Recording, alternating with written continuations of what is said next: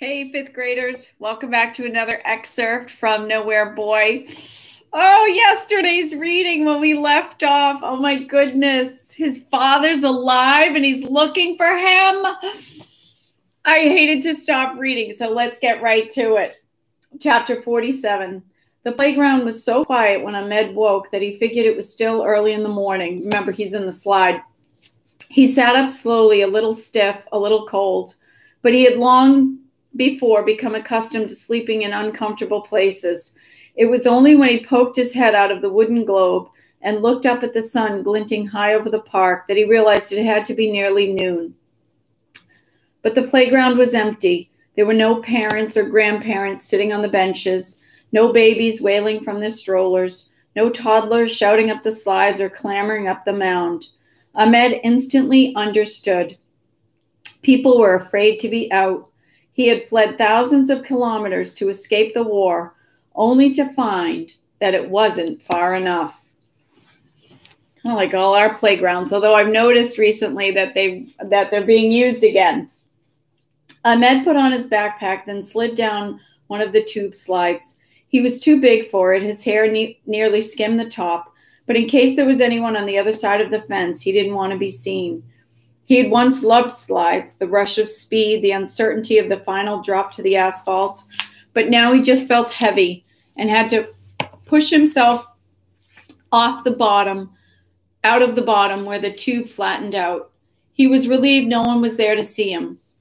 A possible terrorist popping out of a slide had to be a Belgian parent's worst nightmare. But it was strange to be alone at a playground on a sunny day, like the last living kid in the world. What was Max doing now? He would be back at school if it were open. Of course, he'd be terribly worried, but Ahmed tried not to let his guilt bother him. If the police came, Max could honestly say he had no idea where Ahmed was. Ahmed focused on his plan. He needed to make his way out of the city, perhaps to a larger wooded park where he could hide until everything calmed down. And then he tried not to think too far in the future, one step at a time.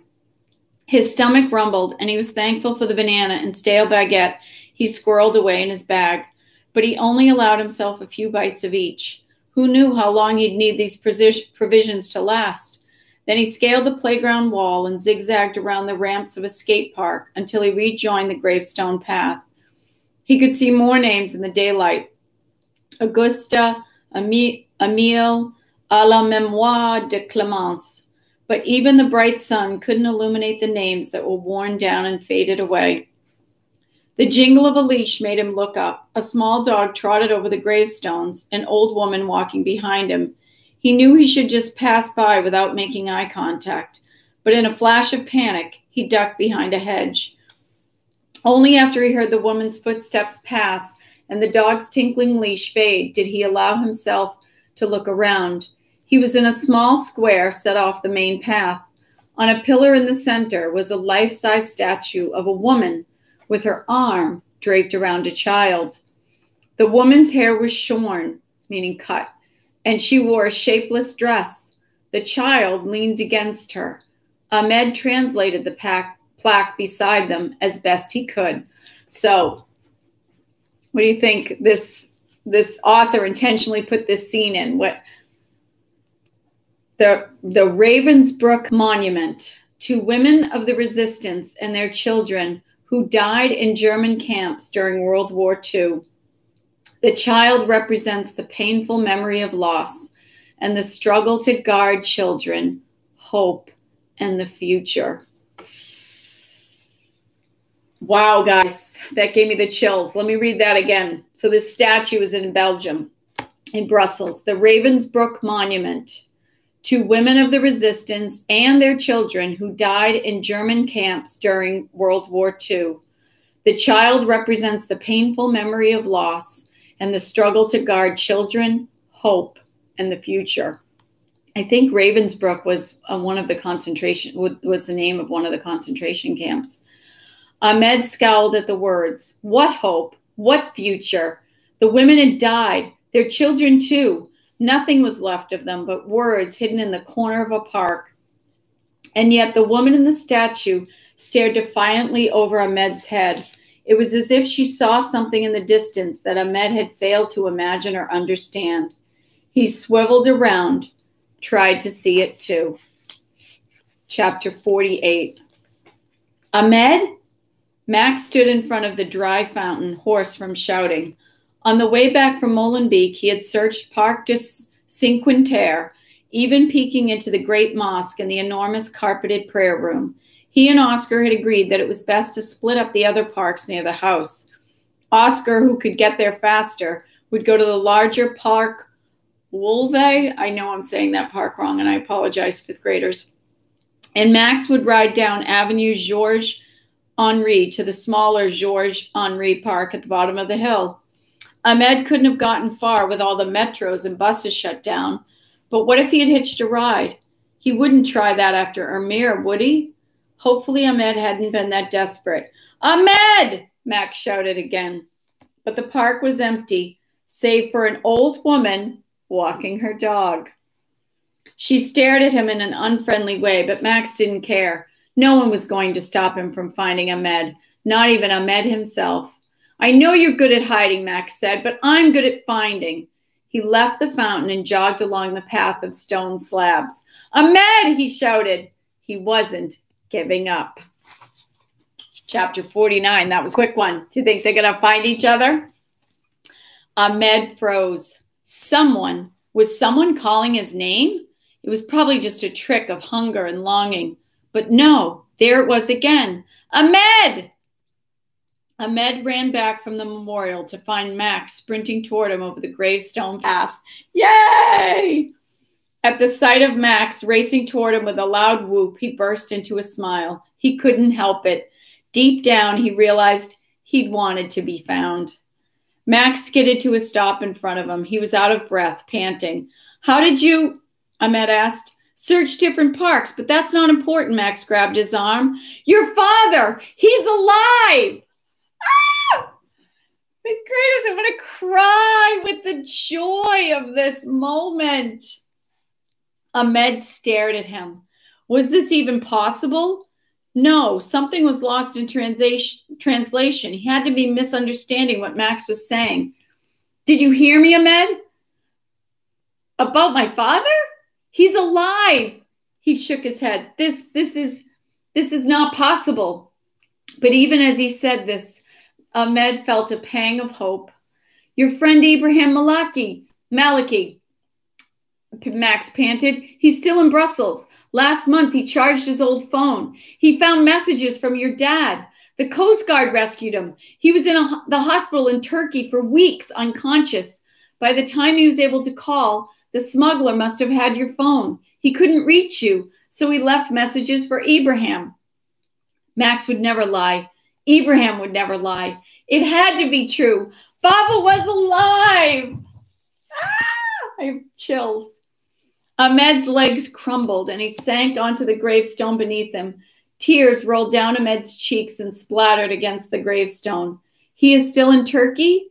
He looked up, but Max had kneeled beside him. No, he's in Europe. He was trying to find you. His last message said he was being arrested and taken to a detention center in Hungary. Oh no. The sentence landed like a blow. Of all the places in Europe that his father could have ended up, this was the worst. Hungary was the least welcoming country on the refugee route. Ahmed still remembered the hot, crowded Keleti train station in Budapest and the Hungarian police, how they would lie to refugees about where they were taking them or even beat them. Oh no. Do you know where? Ibrahim told me the name. He said there was also a re refugee rights group in Hungary that was trying to help him. Ahmed jumped to his feet. I must go to the center now. Max was up beside him, his hand on Ahmed's arm. You can't just go to Hungary. The whole of Europe is on alert. But borders are still open? But borders is still open? I think so, but that doesn't mean there won't be police at them now checking documents.